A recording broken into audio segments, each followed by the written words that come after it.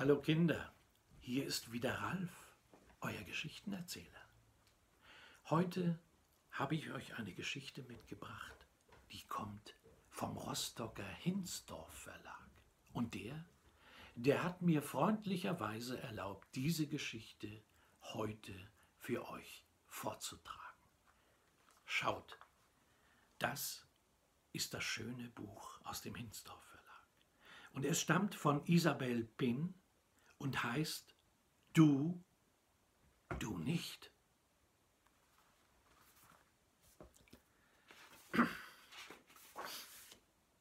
Kautschuk kam eines Morgens zu uns.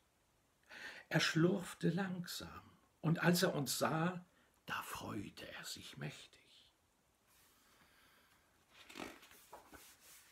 Kautschuk spielte sofort mit uns Ball. Und er war immer gut gelaunt. Und wenn er lachte, klang es anders als bei uns und viel lustiger, Kinder. Er sagte aber nie etwas. Wir nannten ihn Kautschuk, denn so stand es auf seiner Bademütze.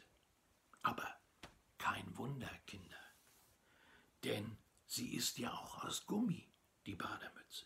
Naturgummi. Und der, der heißt nun mal Kautschuk. Kautschuk konnte gut schwimmen. Ein bisschen anders zwar als wir, aber so richtig schnell. Und er war immer der Erste, der den Ball aus dem Wasser holte. Und wenn wir alle nach Hause mussten, weil es dunkel wurde, ging Kautschuk immer in eine andere Richtung, zu der großen Eisscholle, links um die Ecke. Jeden Morgen warteten wir nun auf ihn. Seht, da sind die drei Pinguine. Und dort, das ist Kautschuk im Wasser mit dem Ball. seit Kautschuk da war, machte es miteinander viel mehr Spaß. Wir tobten und tobten und hatten so viel Freude.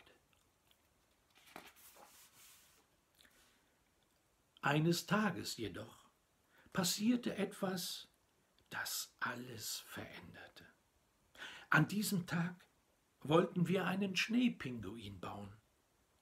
Und als wir fast fertig waren, da merkten wir, dass dem Schneepinguin der Schnabel fehlte. Wir dachten, dass Kautschuk nun eine Karotte holen würde. Aber er kam mit einem Stein zurück, Kinder. Da ging er noch einmal. Und er kam diesmal mit einer Nuss zurück. Wir lachten, weil wir uns dachten, dass er mit uns einen Witz macht. Da ging er noch einmal und kam nun mit einer Muschel zurück. Da, da lachten wir nicht mehr. Wir fanden es, ja, wir fanden es doof. Wir sahen Kautschuk nun genauer an und fanden ihn plötzlich sehr anders. Wir sahen, was uns vorher nie aufgefallen war, dass er nämlich keinen Schnabel hatte. Gar keinen, Kinder, sondern etwas Schwarzes und Glänzendes. Und unten drunter war ein Loch mit vielen spitzen weißen Steinen. Zähne. Einer von uns fing an, ganz leise zu sagen, Kautschuk hat keinen Schnabel. Ein anderer sagte schon ein bisschen lauter, Kautschuk spricht auch überhaupt nicht pinguinisch. Und überhaupt, Pinguine haben doch keine Zähne. Und wir guckten ihn sehr ernst an und schwiegen lange. Tja, bis Kautschuk plötzlich ging, ganz schnell ins Wasser sprang und verschwand. Und da standen die drei nun alleine da, Kinder. Tja, und ihnen wurde langsam ein bisschen langweilig. Seit dem Tag kam Kautschuk nicht mehr zu den Pinguinen. Die ersten Tage, ja, da waren wir froh. Wir Pinguine waren unter uns. Allerdings machte das Ballspielen weniger Spaß und das Rutschen.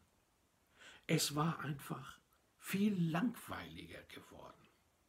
Und mit Kautschuk hatten wir auch viel mehr gelacht, obwohl er doch so anders lachte als wir. Tja, Kinder, die drei mussten sich nun allein beschäftigen.